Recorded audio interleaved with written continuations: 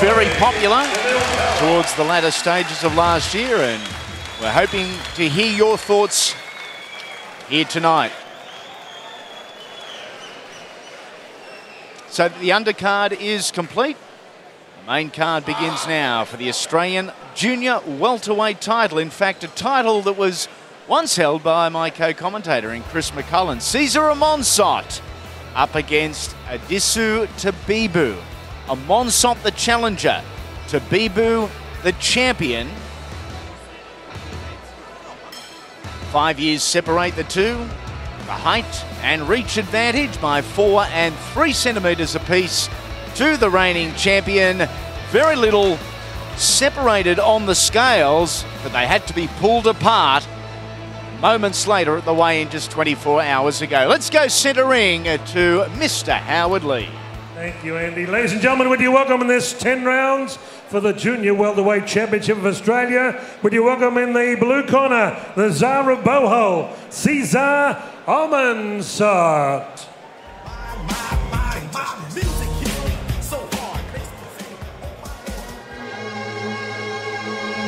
Winners. Everybody wants to be a winner.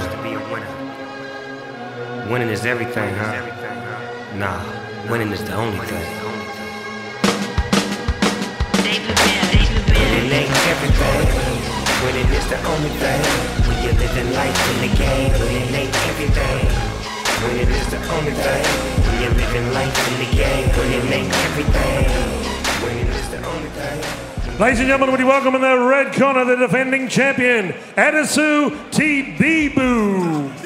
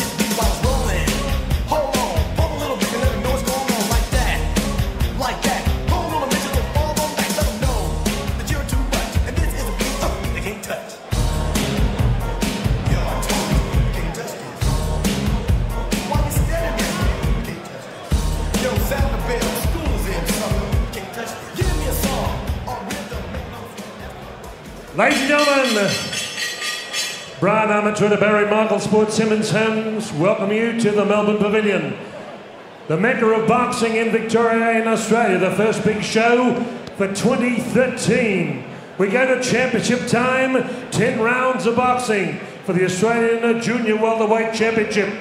Would you welcome first in the blue corner the challenger from Campbelltown, New South Wales, via Bohol in the Philippines. Coach Todd Macklin from West Fight Club, Campbelltown, New South Wales. Ranked number three welter boxing contender. 28 fights, 22 wins, 3 draws, 3 losses, 12 by knockout at 62.8, 0 kilograms. Best remembered for his epic 12 round war against Aussie Michael Katsidis in Las Vegas, July 2007. Wearing mainly black trunks with white stars. Would you welcome the Tsar of Bohol, Cesar Amonsot? And across the ring, the defending champion from Belmore, New South Wales, via his native country of Ethiopia. Sydney Olympian 2000. 10 fights, 5 wins, 2 losses, 3 draws, 1 by knockout. Making the second defense of his title at 63.50 kilograms, Coach Arnold Baratello the reigning and defending Australian junior welterweight champion, wearing multicolored trunks, green, gold, red, and the stars and stripes. Addisu Tebebu. Referee Ignatius Missailidis. Judges Malcolm Bullner, Samantha Bullner, Alan McCall. Here we go. 10 rounds of boxing. I'm not judging. No, I am. You okay, guys? I explained the rules to you in the change room. I expect you to obey my commands all the time and protect yourselves at all times. Understand? Yeah. Touch gloves and good luck.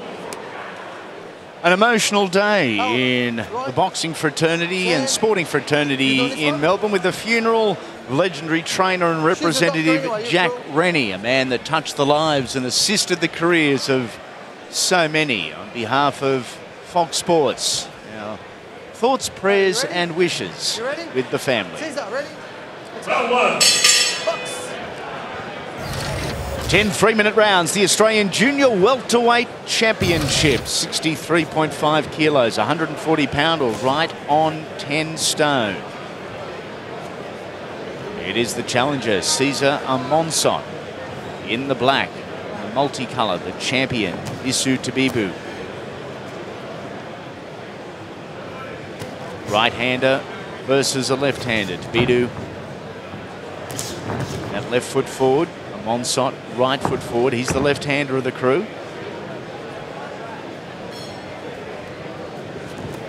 Slow start from two very fit, very durable athletes. 30 minutes, if in fact we do go to the judges, won't be an issue for either. Wild right hand from Monsot. Tries to bully the champion back into the corner. Bidu Nicely getting out of there. This is exactly what Caesar needs to do. He needs to back up Tebebu. This is not where he needs to be, but back him up on the ropes, dig away at the body, and then let those hooks come over top. Be careful of the right hand of Tebebu. Originally from the Philippines and also Ethiopia, two very proud new Australians, two young Australians, and battling for a title that they have a whole lot of respect for.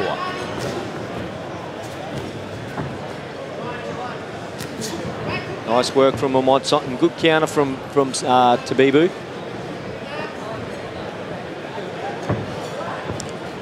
Tebebu won the title with a seventh round KO on the towel over Beijing Olympian Toddy Kidd in July of last year. Since fought Matthew Litwinenko. Yeah, two good wins there um, for Tebebu, Todd Kidd and, and Litwinenko. Good opponents.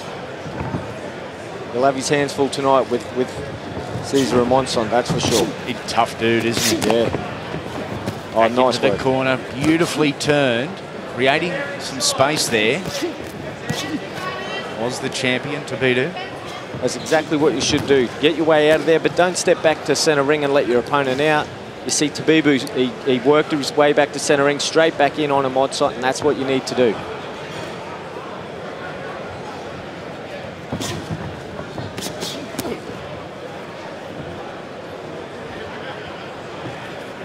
Both very experienced amateur fighters with 130 and 100 amateur fights respectively.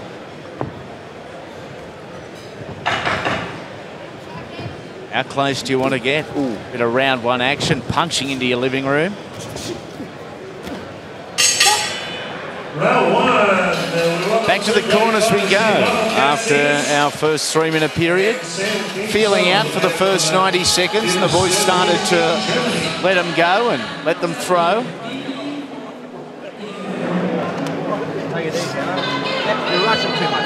Just relax. Pop the jab, pop the jab. He's felt the power, right? Know you've got power. No. Pop the and the hook.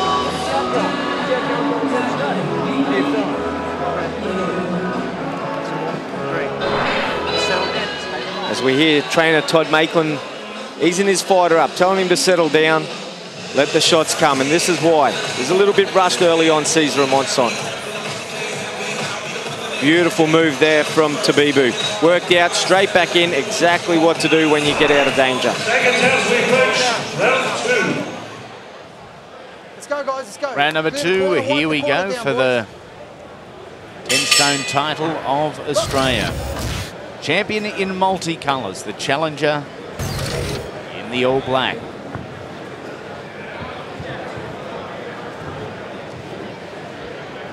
Edging forward here. Some Monsant. And if you were witness for his war with Michael Katsidis back in Las Vegas, you would know that he is more than happy to move inside, stay inside, and just let him go. Yeah, he certainly is. That's what makes him entertaining, and to be honest, if you weigh up how each fighter went with, with Mick Katsidis, you go, Tebebu went two, Amonsot went 12 in a war. Will that be the case tonight? No, styles make fights. He was back in 2007 for the WBO interim World Junior Welterweight title. Great On man. site. Mick Katsidis sitting next to me. He gives Caesar a, uh, a little yell out before the fight. He seemed more happy to see Mick than anything else. when you're in those wars, you always you create that friendship that'll never disappear. He's happier to see Katsidis without gloves on too. Yeah, that's right.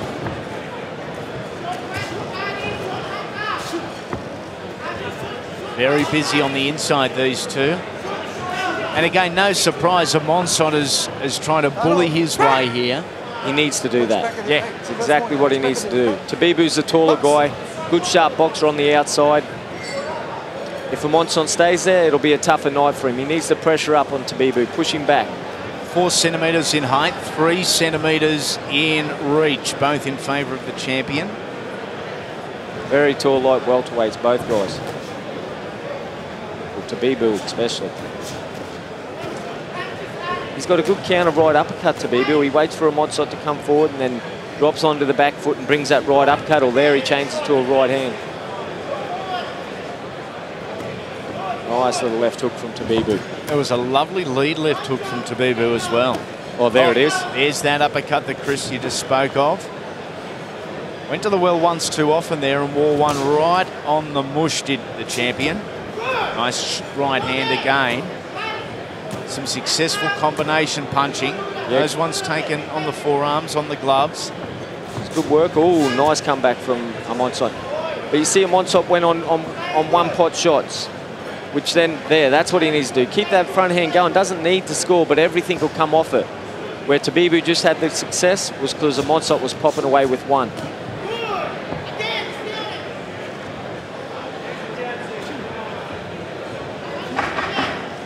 Pushing out that lead right hand as Amonsot.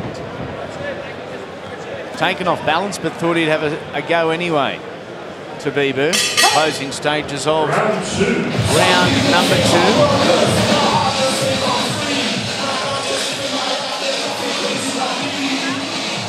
One, one there. Three. Very good. Bit by bit, right? Stay, stay defensive. Stay defensive. All right.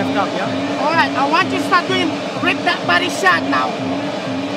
Close. I want short punches. Inside, short. Pull short.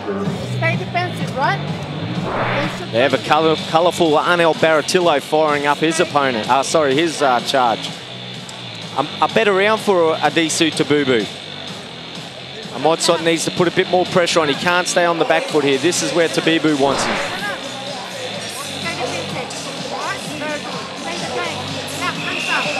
Arnell from the Baratillo Bombers Gym in Granville, a great facility for all levels of fitness and boxing at Granville in Western Sydney, just via Parramatta. They're a good crew out there. They love what they do. Yeah, he's a good guy, Arnell, as it's Todd Maitland in the other corner. Yep, absolutely. Very colourful and competitive trainers, that's for sure. See both guys very experienced, as we saw in the pre-fight, the pre-TV fights. Most guys working around that label. It's very slippery in there. As Tebebu lands a good right hand, but it's dangerous and it's slippery. And these boys, you'll see most of the night, they'll work around the outside of that that uh, sponsor sponsorship signage in the middle. Tebebu not busy. He debuted in 2001 in March. And coming into tonight, had completed just 50 professional rounds in 10 fights. So inactivity has been a, a huge thing with the champion Addisu Tebebu. Even distance, as you say that, even distance, this fight's over 10 rounds as all national titles are. Tebebu's gone 10 rounds twice. Amonsot 12 times. Yep.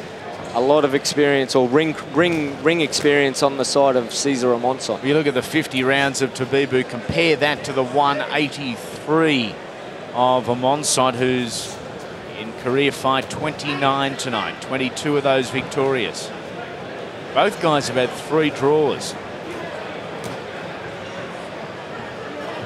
Both guys very deliberate, very purposeful in the opening two rounds. Starting to see just a little bit of speed, a bit of fluency about what they're doing. Yeah, as Amonsot lays a good left hand and Tebebu pressures up again. Nice counter right hook from Tebebu. We're back next Thursday night, live from Brisbane. Mark Flanagan, Daniel McKinnon, the Aussie Junior Middleweight title, Shannon, Shaggy King and David Galvin. Brett W. Smith against Joanne Portier. And a whole lot more, a huge card. That's next Thursday night, February 28th, live from Brisbane. Nice left hook from Caesar, and there's another one. Good work again from Tebebu. Out to centre ring, works back in. Great work. Look at these long punches, straight punches and fast punches from Tebebu.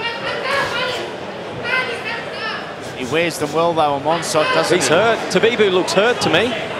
Maybe he's off balance, but he certainly looks like his feet aren't under him. Don't hold him, don't hold him. Don't punch, boys, don't punch, don't punch, stand back. Box.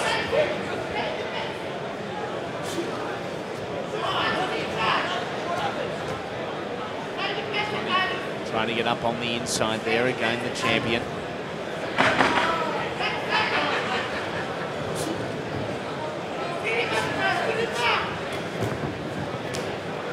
Body work from Tebebu, who changes levels in the final seconds of the round. Monsot very casual, very relaxed, going back to his corner, and the principal there from the Out West Fight Club is Tony Maitland. Breathe, breathe, come on, breathe. Breathe. You alright? Come on. look, look, it's like, if you open up on this kid, I'm telling you now, fight could be over. Mate, keep everything short. You're trying too hard to knock out. It'll happen, mate.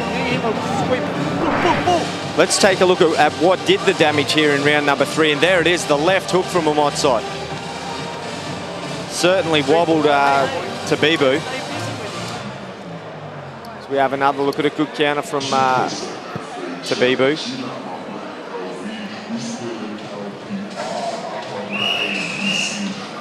Seconds out, round four. Great to see you guys on Twitter enjoying the action so far. Interesting points from Luke Wade in particular.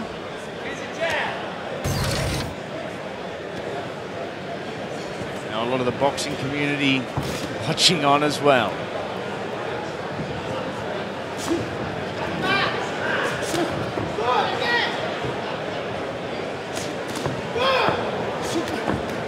Mentions also on social media about the haircut of Caesar Amonsot. When you're this tough, you can afford to get a cut however what you want. Yeah, I don't think too many are going to have a go at this man. Good start to the round from Addisu Tebebu. Started off nice and aggressive. Oh, Amonsot has a little muck around with the left hand, uh, the right-handed stance switches, which you don't see too often, into the orthodox stance.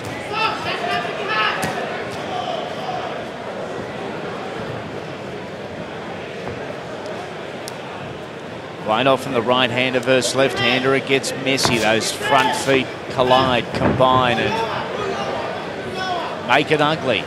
Not so at this point in time, but key is getting that lead foot, Chris, on the outside of your opponent. That's exactly it. And these guys, you learn that a lot in the amateur, you know, the roots, the amateur roots. These guys with both very experienced amateurs, they know what they're doing. They know when they get around there what, what punches they can throw, and there's a good example of it. Tebebu on the outside brings that left hook up, uh, right hook up.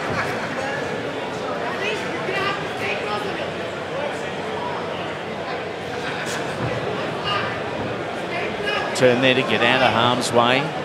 Trying to just create that space, and then nice two-punch combination from them on site. Oh, good shots from both guys. Oh, he's down. The champion drops.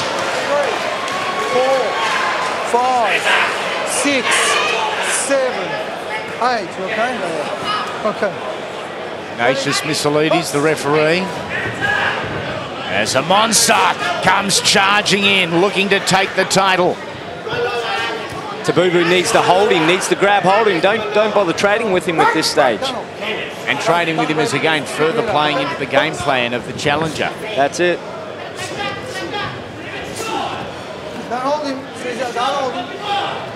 Has he got his feet? Seems all right at this stage. Whack there again from him on site. Right hook, left hand. Beautiful work. Throwing more punches, harder punches and better punches, Caesar Amonsot. Yeah, very direct those shots. Good evasive work, good counter work. Oh, Tebebu looks in trouble again. A big round for the challenger, Caesar Amonsot, the champion down and struggling. Yeah, I don't, you got hit plus you got slip. Oh, listen to me. Something like break. You got slip there. No, Jim. That's all right. You got, you got punch and slip. Yeah, you got punched. And you got and slip. How are you, mate? How's your head feel? What round is it? Uh, I'm going. What round?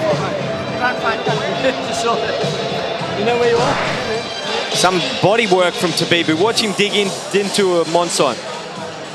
Beautiful shot. Oh, you feel Amonsot felt that. And the other side, good work from Addisu Tebebu. But here we go. Oh, beautiful shot from Caesar and Monson. Couple, two or three.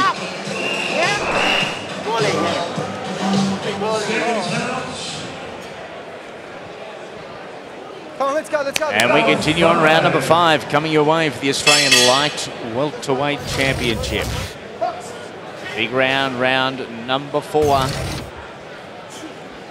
Man in black.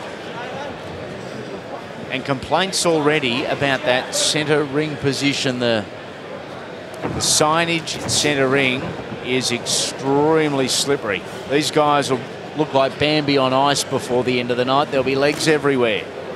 Yep, you already see that. You know, and it, look, it's a shame. We need the sponsors, there's no doubt about it. But it's a shame that, you know, we've got some good fights here, but they're going to work their way around the outsides of the ring. We're not going to see the craft using the centre of the ring. Here you've got two guys just sitting on the outside, right on the ropes, not in good positions. Very good shots landed by Addisu Tebebu there as well. Monson almost exclusively trying to use the black portion of the ring. Keeping his opponent on that slippery sponsorship side.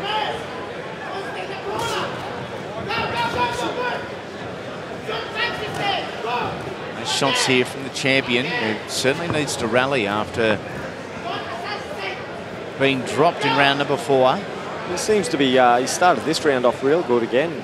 He looks clear to me, but Yeah. Chris, you'd, you'd have a, a more valued opinion than mine. Yeah, look, there's no doubt he, he, he went down from headshots. They called it a slip in their corner, but it was clearly shown it was headshots and he was hurt. But it takes a little bit to come back from that, there's no doubt. But he seems pretty good at the moment. Uppercut, left hook, the attempted combination of the champion, Tebebu. A little bit of tape coming loose on Tebebu already. We're only in round number five. Just on 60 seconds remaining. Once again, I'd like to thank Tony Nobbs, crucial part of the Fox Sports boxing team for his stats, bios and analysis.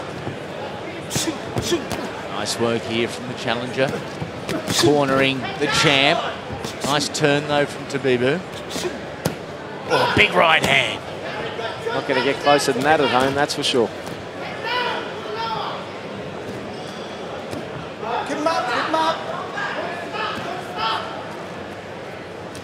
This has got all the traits of leading into a last round war. Yeah, for sure. Oh, good work from Tebebu. Slips out. Left hook, right hand combination.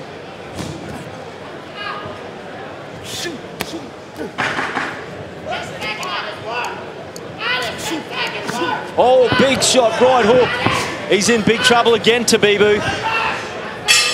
Saved by the bell literally as he trips over his own feet on his way back to the red corner and work to be done. Get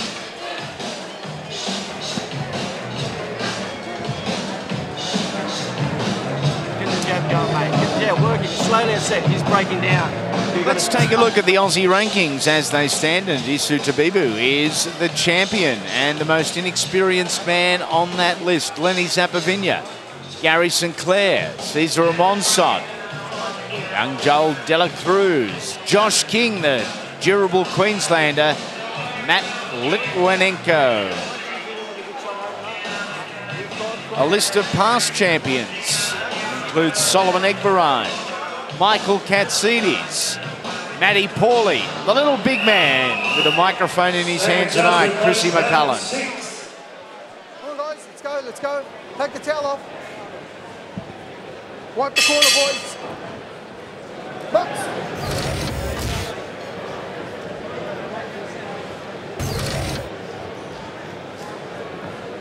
We continue on with Tebebu and also a Monsant. Here we're seeing the boxing skills now come out of Amonsot. The evasion, the counter shots, the pressure. Don't hold, don't hold him there. Back, back. Don't punch, don't punch. Box. Second half of this fight, the first half, in particular, those last two rounds belonging to the challenger. So something needs to change. Yeah, he looks like he's been in a war already, Tebebu. He looks busted up, where Amonsot looks very fresh. Five wins, just one via knockout for the champion. So he's not a power puncher, he's an accumulator. He's got to peg back some points here, and he wore another right hand there, rocked him. Monsot pushing forward and doing so effectively. Don't hold him, hold. Let it go, boys. Let it go. Stand back. Box.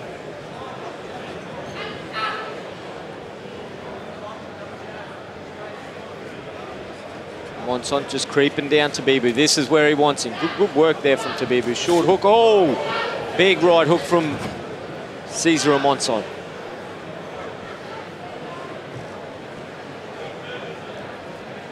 Great composure from Monsot and not going on to that middle section of the ring at all where the, the white sponsorship signage is. So as a result, the champion is forced to come to him, forced to get in close and forced into the war. And it's a war that Amonsot is winning at this stage. Yeah, he just seems to be getting stronger, Caesar, at the moment. Tebebu seems to be breaking down. Every now and then he fires back with some good shots, but they're getting further and further apart.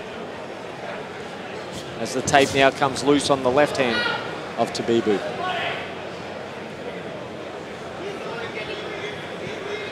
Inside the final minute of round number six.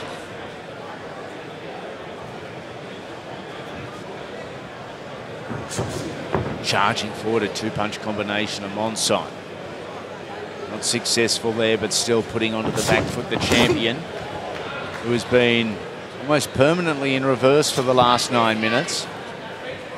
He's felt that power and not real keen to get in there and take more of it.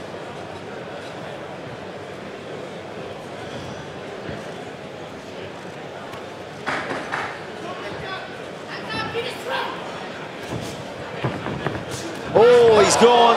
Oh, and a slipper's ruled. And I actually think it's the right ruling as the bell sounds. End of the round.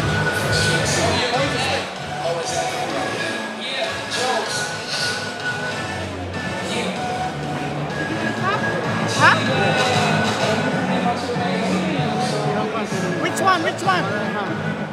How about you jab? Just jab. Just jab.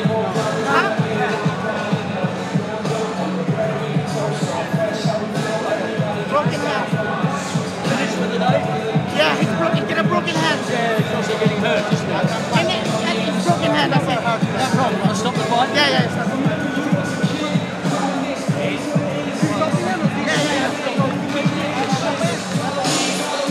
It's over.